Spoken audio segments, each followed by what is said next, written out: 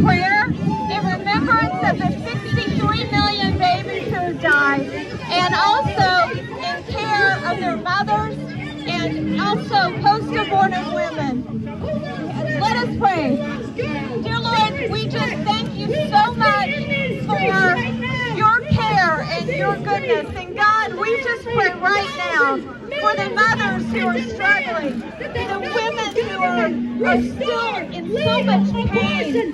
from the choice that they thought would be a simple one. God, we remember them. Lord, as the church, help us to step forward and offer alternatives all over this country, even more than we're doing now. Open our hearts to life. Make us a culture of life and conviction.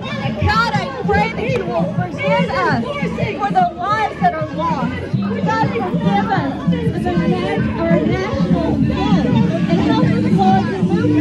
in a that is caring and loving. God, I pray for the little ones and I pray for their mothers and I pray for those that are struggling and injured.